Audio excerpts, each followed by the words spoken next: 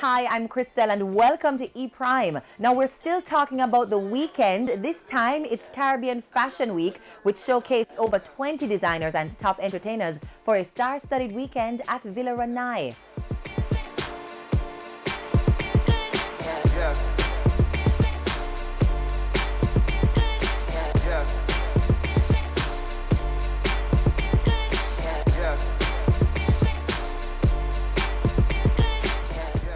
Alkaline's debut of the Vendetta Fam line featured joggers, sweatpants, and hoodies for both men and women. Friday night closer Dexta Daps easily took the weekend with his hits Jealous Ova, The Owner, and Shabba Madda Pot. Saturday night saw top designers Meiling, Sandra Kennedy, and Pat Wright, topped with a performance from British Ghanaian recording artist Fuse ODG, who also launched his collection New African Nation.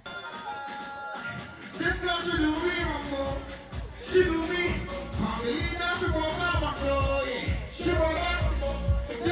girl. It's just about showcasing Africa the brightest way that we can, the best way we can. It's really monumental for me because the connection between Jamaica and Ghana is very strong. Really happy to be back here to bring a new capsule, and it's mainly linen and linen blends. So um, it's very simple, really simple aesthetic.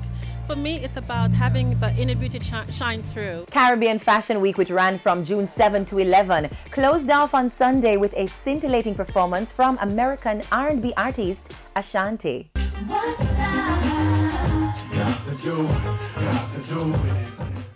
The Issa Trust Foundation is going big for their first charity event with headliner Air Supply.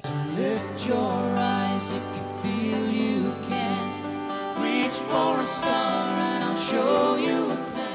The event, scheduled for next Saturday, promises to be spectacular and for a great cause. Chairman of the Issa Trust Foundation, Paul Issa, speaks more about the event. It's going to be a great evening. It's uh, Saturday, June 24th at Couple Sans Souci in Ocho Rios.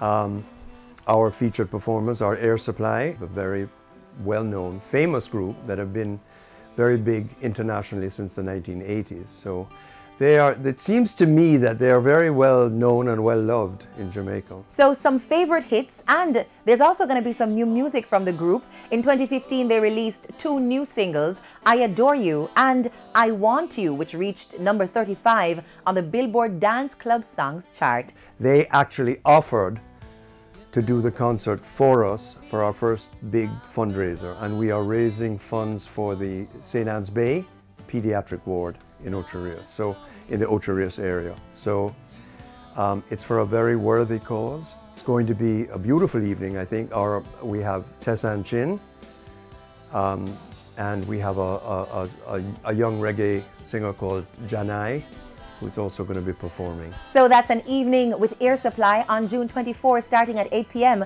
at Couples Sans Souci. Also, you can stick around for the after party. The Issa Trust Foundation is a non-profit with the mission to improve community health and promote well-being and development for Jamaicans. And that's it for this evening's edition of E Prime. I'm Christelle. Thank you so much for watching.